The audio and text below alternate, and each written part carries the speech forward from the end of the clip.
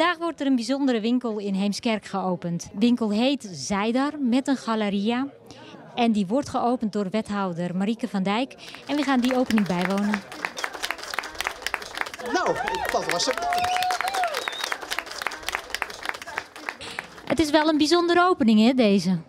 Een hele bijzondere. Volgens mij is dit heel uniek voor Heemskerk. Wat uh, deze dames uh, hier uh, met elkaar gaan doen. Een galerie, een groothandel, workshops kan je er doen. Ja, het is echt heel apart. Heel leuk. Je bent wel blij met dit soort econ economische initiatieven? Ja, heel erg. Dat, echt dat mensen creatief zijn in hoe ze hun zaak willen opbouwen. Zouden meer bedrijven willen uitnodigen richting Heemskerk? Ja, dat sowieso natuurlijk. hier op de trompet kan er nog wel wat bij. En dit zijn echte bedrijven, ja, dat zijn leuke bedrijven. Dus uh, heel graag. Ook echte commerciële bedrijven, want dit is natuurlijk een maatschappelijk ondersteunend bedrijf. Uh, dat is het, maar er zit ook wel duidelijk een commercieel aspect aan dit bedrijf. Hè. Ze hebben een groothandel, dus nou, dat is wel heel commercieel. Maar commerciële bedrijven naar Heemskerk is een heel goed ding. En als je dit bedrijventerrein hier ziet, de Trompet is een ontzettend mooi bedrijventerrein. Dat zie je ook aan het mooie pand waar ze nu in zitten. Dus graag, iedereen die hier wil komen, kom erop. Ik hoorde van de wethouder, het is toch een hele speciale winkel. Dat is het. Uh, zijde uh, is en blijft een nicheproduct. Uh, maar wij leveren eigenlijk heel breed aan een breed publiek. En zijde is ook veelzijdig.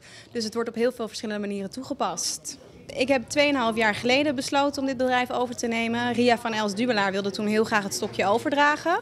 En ik kom uit een ondernemersgezin. Ik heb een passie voor ondernemen. Ik vind het uh, leuk om te doen.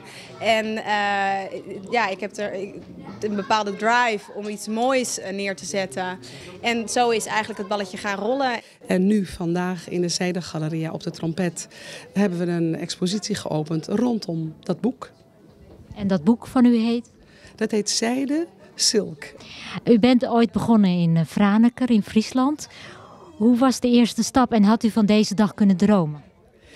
Nee, nee, dat had ik uh, toen nog niet voorzien. Ik vond het wel heel spannend om, uh, nadat ik in het onderwijs gezeten had, educatie is toch iets anders dan ondernemer zijn. Uh, dus ik heb daar heel veel van geleerd, heel spannend. En eigenlijk ontwikkelen dingen zich vanzelf. je gaat steeds door, de grenzen worden verlegd. Toen ik mijn bedrijf verkocht aan Sarah Ruiter, de heilige eigenaresse van Zijdar, werd ik gevraagd om voorzitter te zijn van Textielcommissie Nederland. wat weer allerlei aspecten van textiel in zich heeft, anders dan alleen maar zijde, had ik ook niet van durven dromen. Maar het komt op je weg en je pakt het op en het wordt steeds een soort kruisbestuiving van het een met het ander. En dat maakt het hele textielveld zo spannend. Toen je zij daar eh, overnam eh, van Ria, um, vond je het moeilijk? Ja, natuurlijk is het moeilijk als je een bedrijf overneemt.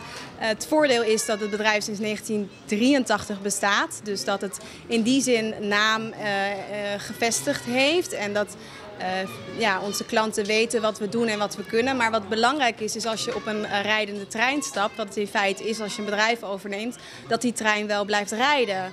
En dat doe je door op zoek te gaan naar nieuwe mogelijkheden, door kansen te benutten, door nieuwe markten aan te boren. Uh, en dat heb ik geprobeerd te doen. En ik denk dat dat heel goed gelukt is de afgelopen 2,5 jaar. Nieuwe markten aanboren, het is een heel sociaal-maatschappelijk bedrijf ook. Dat klopt. Uh, wij uh, leveren ook aan uh, zorginstellingen. bijvoorbeeld voor mensen die ziek zijn of die aan het revalideren zijn als bezigheidsactiviteit. de begeleiders komen hier dan in het atelier om nieuwe technieken te leren die zij vervolgens aan hun cliënten overbrengen. En daarnaast is zijde ook een product wat je terugziet bij scholen, bij uh, kinderen, bij ouderen, maar ook bij, bij jongeren. Zijde is in die zin een product voor iedereen. Wat we doen is, we hebben eigenlijk twee takken die we bedienen. We hebben de groothandel, dus voor de theater, voor de fashion designers, voor de instellingen, voor de zorg, voor de scholen. Dus eigenlijk voor alle bedrijven. En daarnaast hebben we een particuliere webwinkel en gewone winkel. En daar kan iedereen die van textiel houdt, in dit geval zijde, dat is waar we goed in zijn. Nu houdt elke vrouw van mode. Heb jij een binding met mode? Niet als in die zin dat ik een uh, opleiding heb in de textiel, uh, textiele werkvorming. Uh, maar tuurlijk heb je iets met mode. Je hebt in ieder geval iets met, met vorm, met silhouet, met patronen, met valling, met design. Omdat wij ook met verfstoffen werken. Dus ik denk dat het onlosmakelijk aan elkaar verbonden is. Wij hebben een prachtig nieuw bedrijfspand, wat helaas nu alleen toegankelijk is met trappen naar de eerste en de tweede verdieping. Uh, ons atelier is op de eerste verdieping, evenals onze toiletten. En de zijde galeria is op de tweede verdieping. En ik zou het fantastisch vinden als uh, minder valide en uh, mensen die slechter been zijn... ook door ons hele pand kunnen gaan en staan waar ze willen. En dat zou heel mooi zijn als we dat middels ons crowdfunding project ja, kunnen realiseren.